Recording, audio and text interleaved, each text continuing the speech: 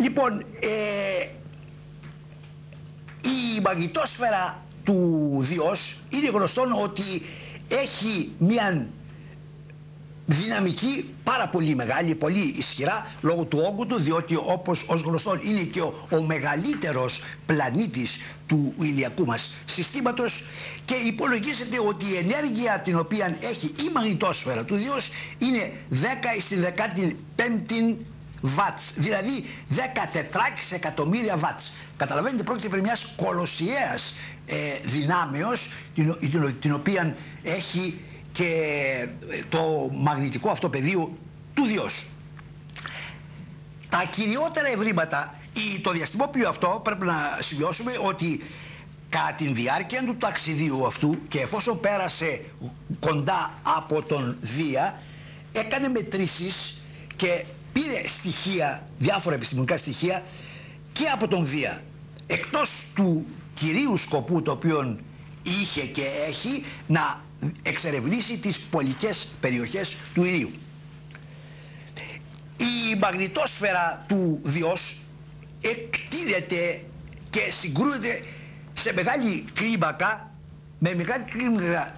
και σε πολλές διακοιμάνσεις με τον ηλιακό άνεμο. Υπενθυμίζω ότι ο ηλιακός άνεμος είναι τα σωματίδια τα οποία εκπέμπονται από τον ήλιο και τα οποία καλύπτουν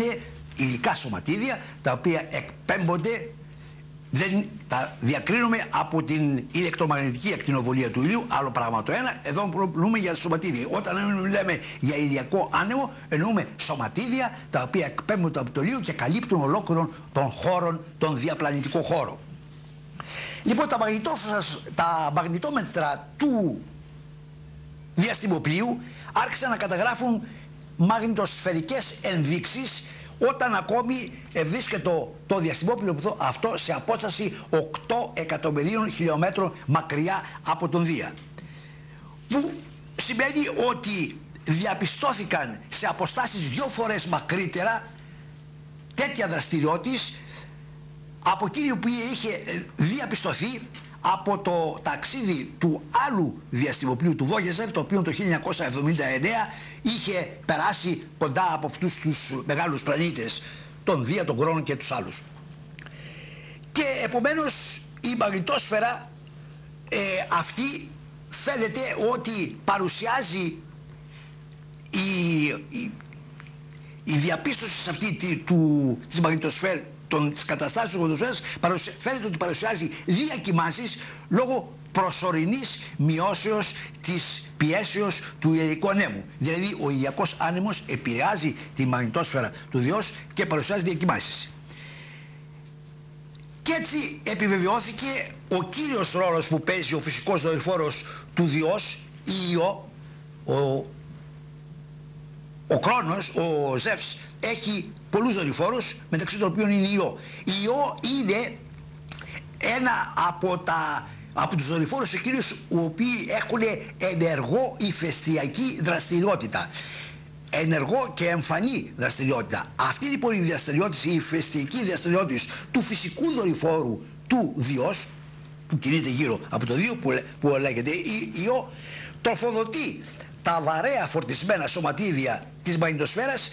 με, ένα, με μέσο ρυθμό που είναι περίπου ένας τόνος κατά δευτερόλεπτο. Μιλάμε δηλαδή για ε, ποσ, ποσότητες πολύ μεγάλες ενεργειακές. Ο Οδυσσεύς απεκάλυψε την κλίμακα του φαινόμενου αυτού δείχνοντας ότι τα ιόντα του οξυγόνου και του θείου που επέμπονται γεμίζουν την, την μαγνητόσφαιρα σε τεράστιες αποστάσεις. Και όταν λέμε ιόντα, να υπενθυμίσουμε, εννοούμε άτομα ύλης τα οποία είναι εξιονισμένα, δηλαδή τα οποία έχουν φύγει ορισμένα ηλεκτρόνια από το εξωτερικό κέλυφος και επομένως παρουσιάζουν, δεν παρουσιάζονται ουδέτερα όπως είναι στη φυσική τους κατάσταση συνήθι, αλλά παρουσιάζονται εξιονισμένα, δηλαδή έχουν ένα συνήθως αρνητικό φορτίο. Είναι ηλεκτρισμένα, να το πούμε έτσι κάπως απλούστερα, αρνητικά. Μελετήθηκε το εκτραμένο νέφος ιονισμένου αερίου που παράγεται από την ιό, η ιό λόγω της φυσικής δραστηριότητας παρουσιάζει, εκπέμπει σωματίδια, εκπέμπει ένα ιονισμένο νέφος κατά μήκος της τροχιάς της και με με αυτό επηρεάζει το περιβάλλον του Διός. Η μαγνητόσφαιρα του Διός είναι πολύ περισσότερο πολύπλοκη από εκείνη της Γης και διαπιστώθηκαν πυρήνες ατόμων που προέρχονται από τον ήλιο, την ατμόσφαιρα του Διός, τις ιούς και άλλων δορυφόρων όπως είναι η Ευρώπη, ο Γανιμίδης και η Καλιστό. Δηλαδή είναι πολυσύνθετος η μαγνητόσφαιρα του Διός επηρεαζομένη από πολλούς παράγοντες και από τον ήλιο αλλά και από τους άλλους τεχνητούς, τους φυσικούς δορυφόρους τους οποίους έχει ο γιγαντιαίος αυτός πλανήτης του ηλιακού συστήματος. Οι, ζών, οι ζώνες ακτινοβουλίας του Διός φαίνεται ότι είναι λιγότερο εκταμένοι σε πλάτος από εκείνες της γης, φτάνοντας σε πλάτη μέχρι 40 μοίρες από τις πλευρές του μαγνητικού ισημερινού του, ενώ στη γη είναι πλησιέστερα προς τους πόλους περίπου στους 70 και αποτελούν ογκώδεις εναποθέσεις ενεργειών σωματιδίων που ευρίσκονται στην εσωτερική μαγνητόσφαιρα που περικυκλώνει τον πλανήτη. Το διαστημόπλιο κατά τη διάρκεια αυτής της προσεγγίσεως του και διελεύσεως του κοντά από τον ε, Δία διεπίστωσε σκόνη διαστρικής ύλης. Τα μικροσκοπικά αυτά σωματίδια είναι, ε, είναι περίπου ισοδύναμα στο 1 δέκατο του χιλιοστού του μικρογραμμαρίου εκκινούνται με ταχύτητα διαπιστώθη 90.000 χιλιόμετρων την ώρα σε τροχιές που δεν είναι συνδεδεμένες με το πεδίο βαρύτητος του ηλίου, πράγμα που δείχνει ότι αυτές προήρχονται έξω από το ηλιακό σύστημα. Εφόσον δεν συσχετίζονται με το μαγνητικό πεδίο του ηλίου, γι' αυτό ή το, το πεδίο βαρύτητος του ηλίου, αυτό είναι μια ένδειξη ότι αυτά τα σωματίδια, αυτή η διαστρική ύλη προέρχεται από πηγές έξω από τον ήλιο, έξω από το ηλιακό σύστημα ανοιχνεύτηκαν κατά τη διάρκεια αυτής της διαρευνήσεως διαστρικά βαρέα ιόντα αζότου, οξυγόνου, νέου που αρχικά ήταν ουδέτερα άτομα εισερχόμενα στην ατμόσφαιρα από έξω.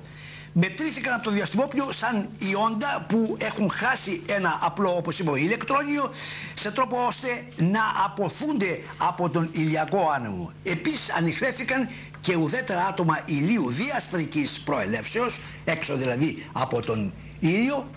και μετρώντας τη ταχύτητά τους διαπιστώθηκε ότι η ταχύτητα κινήσεως του ηλιακού μας συστήματος στο τοπικό γαλαξιακό περιβάλλον είναι 95 χιλιόμετρα ωραίως και όχι 70 χιλιόμετρα όπως προηγουμένως, προηγούμενες μετρήσεις έδειχναν. Δηλαδή, ολόκληρο το ηλιακό σύστημα μαζί με τους πλανήτες κινείται, έχει μια εγκύληση μέσα στον χώρο τον, του γαλαξίου μας, στον οποίο και ανήκει. Και η ταχύτητας αυτή διαπιστώθηκε ότι είναι 95.000 χιλιόμετρα την ώρα αντί 70.000 χιλιόμετρα. Φανταστείτε λοιπόν ολόκληρο το ηλιακό σύστημα, τον ήλιο περιστρεφόμενο περί των άξονα τους, τους πλανήτες περιστρεφωμένους περί των άξονα τους και περί των ήλιων και ολόκληρο αυτό το σύστημα να κινείται όλο μαζί με την ταχύτητα, την τεραστία ταχύτητα των 95.000 χιλιόμετρων μέσα στον χώρο τον γαλαξιακό. Πρόκειται δηλαδή, όπως αντιλαμβάνεστε αγαπητοί φίλοι, για πάρα πολύ πολύπλοκες κινήσεις οι, οι οποίες ε, παρουσιάζουν την δυναμική του συστήματος των ουρανίων σωμάτων. Τα ουράνια σώματα δεν είναι ακίνητα, όπως φαίνονται εκπρόσωποι όπως αν παραδείγουν ρολό, αλλά κινούνται και μάλιστα με τεράστιες ταχύτητες. Μετρήθηκε επίσης η ακρίβεια με ακρίβεια η ισοτοπική σύνδεση της κοσμικής ακτινοβολίας που ήταν γνωστή σαν καταιγή σωματιδίων που εισέρχεται στη γήινη ατμόσφαιρα και αποτελούνται από εξαιρετικά ενεργά ιόντα και ηλεκτρόνια των οποίων η ακριβής προέλευσης παραμένει ακόμη ένα μυστήριο. Αυτή η, η κοσμική ακτινοβολία η οποία προέρχεται έξω από το ηλιακό σύστημα ακόμη δεν έχει επιληθεί ένα μυστήριο από πού προέρχεται κλπ. Δεν έχει διαπιστωθεί ακριβώς από πού προέρχεται. Τέτοιες μετρήσεις ισοτοπικών συνθέσεων βαρέων σωματείων κοσμικής ακτινοβολίας όπως άνθρακος, αζότου, οξυγόνου, νέου, πυρητίου και μαγνησίου μπορούν αυτές να προσδιορίσουν την φύση των αστέρων οι οποίοι τις εκπέμπουν οι οποίοι εκπέμπουν αυτήν την ακτινοβολία. Αλλά το σπουδαιότερο είναι ότι ο Οδυσσεύς που που εγκατέλειψε το επίπεδο της εκλειπτικής όπως είπαμε προηγουμένως το Φεβρουάριο του 92 και έφτασε στο Ιούνιο του 93 σε ηλιογραφικό πράτος 32 μοιρών άρχισε από χαμηλά από όταν βλέπετε άρχισε από ηλιογραφικό κράτος εδώ περίπου 32 προχωρώντας, προχωρώντας και έφτασε στο ηλιογραφικό αυτό ε, πλάτος του, ε, του ηλίου των περίπου εδώ που είναι 80,2 μέρες σχεδόν δηλαδή κάθετο προς το επίπεδο της ε, εκλειπτικής διαπιστώθηκε σαφώς ταχύτερο ότι υπάρχει ένας ταχύτερος ηλιακός άνεμος ο οποίος κινείται με ταχύτητα 3 εκατομμυρίων χιλιόμετρων την ώρα που είναι διπλασία του μέσου όρου του ηλιακού άνεμου που είχε μετρηθεί σε άλλα, ε, από άλλες μετρήσεις σε άλλα ηλιογραφικά πλάτη. Και επομένως πριν ακόμα αρχίσει το διαστημόπλιο ο Οδυσσεύς την κυρία του αποστολή που ήταν ακριβώς να μελετηθούν οι δραστηριότητες του ηλίου στις πολικές του περιοχές προσέφερε πάρα πολύτιμα, πολύτιμα στοιχεία για την κατανόηση της μαγνητοσφαίρας του Διός την γαλαξιακή αστροφυσική και την ηλιακή φυσική. Ήδη οι επιστήμονες αναμένουν και πολλές νέες ανακαλύψεις καθώς θα προχωρήσει πλέον η, προχωρεί η πορεία του διαστημοποιού αυτού για να καλύψει τις πολικές περιοχές του ηλίου. Οι περιοχές των πόλων του ηλίου όπως είπαμε είναι μέχρι τώρα ανεξερεύνητες. Δεν έχουμε στοιχεία του ποια, πώς διαμορφώνονται από τη δραστηριότητα του ηλίου οι περιοχές αυτές. Όλα τα διαστημόπλια τα οποία μέχρι τώρα έχουν εκτοξευθεί εκκινούνται όπως είπαμε στο, στο επίπεδο της εκλειπτικής αυτή είναι εδώ δηλαδή την, το νοητό επίπεδο του λογικής και επομένως παρατηρούσαν περιοχές του ηλίου αυτές μικρές περιοχές εκατέρωθεν του Ισημερινού. Οι περιοχές περιοχές αυτές που προς τα πάνω νοτίου και βορείου αυτές ήταν άγνωστες και δεν είχαμε στοιχεία. Και επομένως η αποστολή αυτή που είναι μια για πρώτη φορά πραγματοποιημένη αποστολή διαστημοπλίου είναι πάρα πολύ ενδιαφέρουσα διότι θα συλλέξουμε πάρα πολλά στοιχεία από τις ανεξερεύνητες αυτές περιοχές. Από τον περασμένο Ιούνιο, όπως είπαμε, που άρχισε να πλησιάζει στον, το διαστημόπλιο στον χώρο που επηρεάζεται από τον νότιο πόλο του ηλίου, διότι πρώτα θα περάσει, πέρασε ήδη δηλαδή, από τον νότιο πόλο, θα συνεχίσει την αποστολή του και ε, το επόμενο έτος, τον Ιούνιο, όπως θα δούμε, θα, θα περάσει πλέον και από την, τον Βόρειο Πόλο, την περιοχή η οποία καλύπτεται από τον Βόρειο Πόλο. Όπως βλέπετε αυτά τις, τις δύο αυτές ε, το, ε, ακτίνες εδώ, της περιοχή που καλύπτεται εδώ, είναι, αυτές ανταποκρίνονται στο Βόρειο Πόλο και αυτή στο Νότιο Πόλο του Ιδίου. το Σεπτέμβριο πέρασε στην, ε, περίπου στο μεγαλύτερο ε, ε, ηλιογραφικό πλάτος, το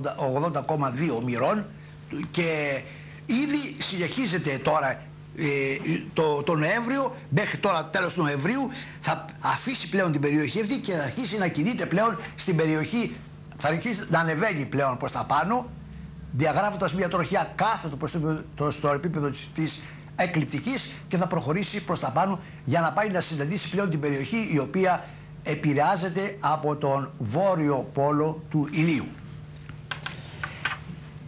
Τα πρώτα στοιχεία τα οποία συνέλεξε ο Οδυσσεύς όσον αφορά τον νότιο πόλο του ηλίου ήταν αν μη αναμενόμενα προκάλεσαν έκπληξη στους ε, ε, επιστήμονες και γι' αυτό ε,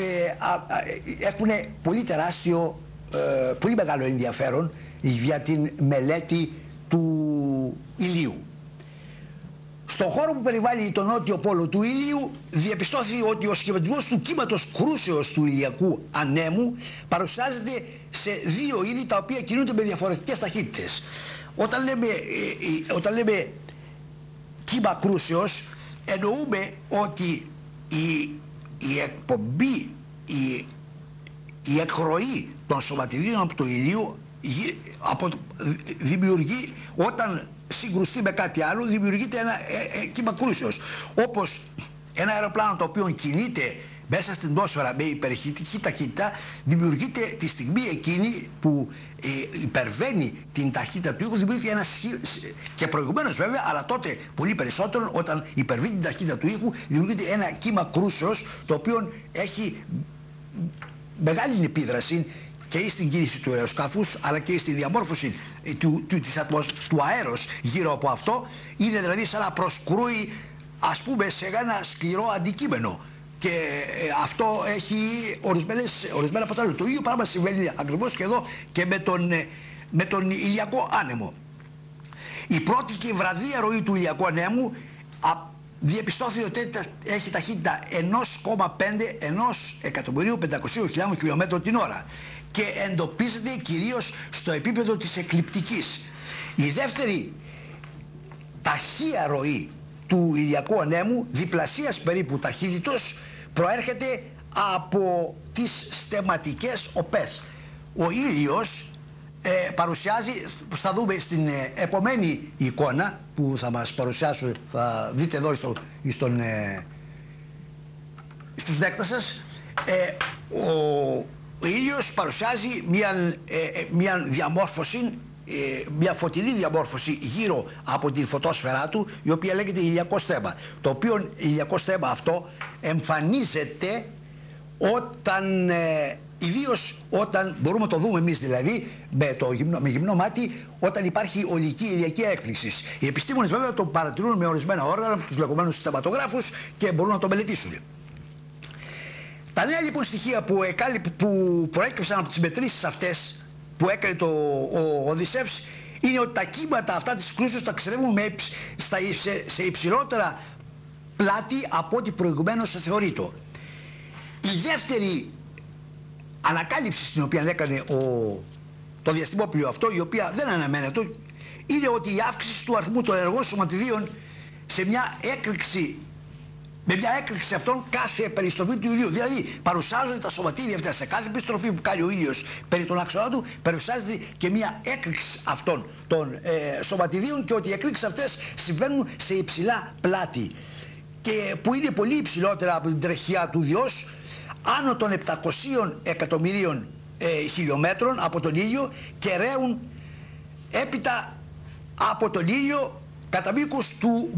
του μαγνητικού πεδίου. Διότι και ο ήλιος έχει μαγνητικό πεδίο και ρέει προς το μαγνητικό πεδίο. Εδώ έχουμε μια. Δεν ξέρω αν μπορέσουμε να το δούμε, αλλά φαίνεται νομίζω και από εδώ. Δεν χρειάζεται. Φαίνεται εδώ η αυτή. Βλέπετε εδώ είναι ένα σχηματική παράταξη του ηλίου. Εδώ είναι το, η, ο, ο ηλιακός άνεμος και εδώ βλέπετε ότι η εκροή αυτών των σωματιδίων εδώ γίνεται προς την κατεύθυνση, κινείται βέβαια ο ήλιος, εδώ σχηματίζεται η λεγόμενη η, η, η, ηλιακή ουρά και εδώ αυτό, τα κύματα αυτά προσκρούν και αποδιαμορφώνονται και βλέπετε εδώ με, το, με τα τόξα αυτά πώς διαμορφώνεται η, η, η, ροή αυτή του ηλιακού ανέμου. Ένα άλλο φαινόμενο το οποίο δεν αναμένεται ήταν ότι η γαλαξιακή ακτινοβολία που παρουσιάζεται σταθερά και αναμένεται να αυξάνει προς στους πόλους του ηλίου ήλπιζαν ότι το μαγνητικό πεδίο στις πολικές περιοχές έπρεπε να είναι πολύ λιγότερο πολύπλοκο από ότι αυτό ήταν στο επίπεδο της εκλειπτικής. Λόγω των μεγάλων αποτελεσμάτων μειώσεως εκ της προτροφής του ηλίου πράγμα το οποίο επέτρεψε στην κοσμική ακτινοβολία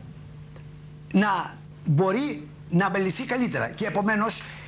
με την αποστολή αυτή θα μπορέσουμε να μετρήσουμε πολύ καλύτερα την κοσμική ακτινοβολία γιατί δεν θα επηρεάζεται τόσο πολύ η κοσμική ακτινοβολία από την δραστηριότητα του ηλίου.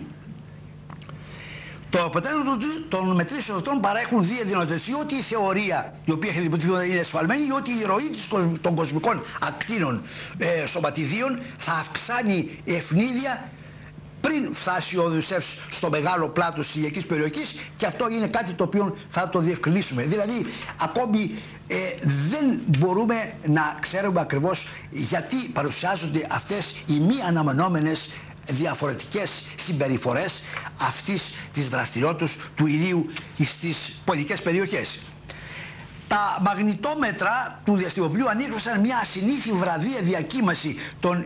ηλεκτρομαγνητικών κυμάτων. Πρόκειται δηλαδή για τα κύματα τα μακράς περίοδου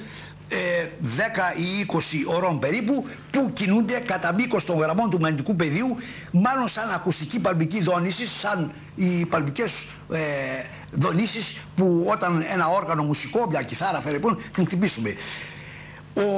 ο Ρίτσαρντ Μάρθ δεν είπε ότι τα κύματα αυτά θα μπορούν να παίζουν σημαντικό ρόλο στην θέρμανση του ηλιακού στέματος και ίσως είναι υπεύθυνα για τον αποκλεισμό της κοσμικής ακτινοβολίας. Οι μετρήσεις που συνεχίζονται θα βοηθήσουν ούτως ώστε αυτό το, ανε, ναι,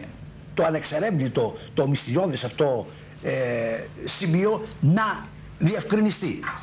Εδώ βλέπετε πάλι αγαπητοί φίλοι σε αυτό το σχήμα εδώ βλέπουμε πάλι την,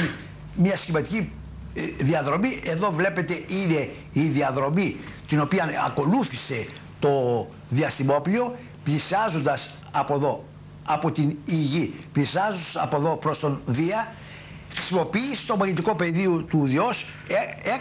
έκαμφηκε η τροχιά του και άρχισε να ακολουθεί αυτή την τροχιά η σχηματική η οποία θα περάσει πάλι από τους πόλους του ηλίου ε, επιμένω σε αυτό το σημείο για να γίνει κατανοητό πόσο δύσκολο είναι το επίτευγμα αυτό και πόσοι λεπτομερείς υπολογισμοί και πόσες διορθώσεις από τεράστιες αποστάσεις εκατομμυρίων χιλιόμετρων έπρεπε να γίνουν με οδηγίες οι οποίες από τους σταθμούς παρακολουθήσεως του δορυφόρου αυτού εστέρνονται προς το δορυφόρο αυτόν για να τροποποιηθεί και να διορθωθεί η τροχιά του. Είναι πράγματι ένα πράγματι αξιοθαύμαστο τεχνολογικό επίτευγμα. Επίσης το διαστημόπλιο αυτό ανήχρευσε και διάφορα τεράστια νέφη ορισμένα αερίου που εκπέμπονται από τον ήλιο. Είναι η πρώτη φορά που η εκπομπή τέτοιων νεφών που είναι ισοδύναμα περίπου με 11.000 εκατομμύρια τόνους εκτείνονται σε απόσταση άνω των 50 εκατομμυρίων χιλιόμετρων και παρατηρήθηκαν απευθείας επιτόπια στα υψηλά αυτά πλάτη στα οποία ε, κινήθη ο ήλιος. Η εκπομπή αυτή των στεματικών ε, μαζών είναι ένα πολύ γνωστό φαινόμενο στο επίπεδο της εκλειπτικής και αποτελούν αυτά την κυρία αιτία των γεωμαγνητικών αποτελεσμάτων του ηλίου όπως είναι το πολικό σέλας, οι μαγνητικές θύελες και οι οποίες επηρεάζουν όπως, όπως είναι γνωστόν και τις, ε, τις επικοινωνίες. Η, η μελέτη αυτών των φαινομένων σε μεγάλα ε, ηλιογραφικά πλάτη θα βελτιώσουν την κατενόησή μας που δημιουργούνται ε, από την δραστηριότητα αυτή και επομένως θα μας δώσουν τη δυνατότητα μιας καλύτερας αντιμετωπίσεως των διαταραχών οι οποίες προκαλούνται στη γη από, από, τις, ε, από τη δραστηριότητα αυτή και επομένως θα βελτιώσουν και τις τεχνολογικές ε, δραστηριότητες του ανθρώπου. Το διαστημόπλιο συνεχίζει το ταξίδι αυτό, θα φτάσει στις 31 Ιουλίου του 1905 σε ηλιογραφικό, σε βόρειο ηλιογραφικό πλάτος των ε, πάλι 80,2 μοιρών και θα συνεχίσει το ταξίδι του γύρω από τις πόλεις του ηλίου και θα περάσει το 2000 και 2001 θα ξαναπεράσει πάλι από τους πόλους του ηλίου. Εποχή κατά την οποία ο ήλιος θα ευρύχθει στο μέσον, στο μέγιστον της δραστηριότητός του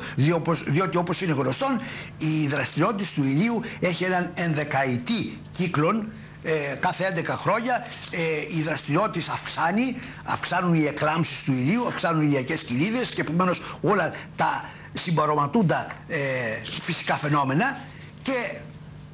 μεταπίπτει ε, ε, ύστερα σε μια κατάσταση κάπως μεγαλύτερας ηρεμίας. Και ακριβώς αυτά όλα αγαπητοί φίλοι τα στοιχεία θα μελετηθούν και θα αποκτήσουμε πάρα πολλές γνώσεις οι οποίες θα μας διευκολύνουν στην ε, κατανόηση όχι μόνο την κατανόηση της του ηλίου αλλά και σε πρακτικές εφαρμογές οι οποίες θα χρησιμοποιηθούν από την τεχνολογία εδώ στην, ε, σε διαφόρους κλάδους και ιδίως στις τηλεπικοινωνίες αλλά και στην καλύτερα κατανόηση της διαμορφώσεως του κλίματος της γης διότι το κλίμα της γης επηρεάζεται από την, ως γνωστόν από την δραστηριότητα του ήλιου. Αγαπητοί φίλοι, αυτά ε, σήμερα ήθελα να σας παρουσιάσω όσον αφορά αυτά τα επιτεύγματα, είναι πρόσφατα αυτά, θα αναμένουμε φυσικά βέβαια και την, ε, τα τελικά αποτελέσματα τα οποία θα μας ε, δώσει το διαστημόπλιο αυτό όταν θα περάσει και από τον βόρειο πόλο του ηλιού. Φυσικά η εξαγωγή ε, ακριβών συμπερασμάτων θα απαιτήσει πολύ χρόνο διότι τα στοιχεία είναι πάρα πολλά και αυτά χρειάζονται πολύ χρόνο για να μελετηθούν και να αλληλοσχετιστούν και επομένως να διαμορφώσουν ένα, μια νέα εικόνα της δραστηριότητας και των επιδράσεων του ηλίου στον χώρο τον διαστημικό, στον χώρο στον οποίο ζούμε, κινούμεθα και, στον οποίο, και από τον οποίο εξαρτάται και η φυσική ζωή ο, απάνω στη γη. Ευχαριστούμε που μας παρακολουθήσατε. Υπενθυμίζω και πάλι ότι η εκπομπή αυτή η επιστήμη και ζωή θα μεταδίδεται του λοιπού στις 7 και 10 αντί στις 7 και 20. Χαιρετούμε, ευχαριστούμε που μας παρακολουθήσετε και θα επανέλθουμε, θα συνεχίσουμε την ε, παρουσίαση διαφόρων τέτοιων επιστημικών θεμάτων τα οποία είναι νομίζω ενδιαφέροντα το προσεχές Σάββατο στις 7 και 10. Και ως τότε χαίρετε.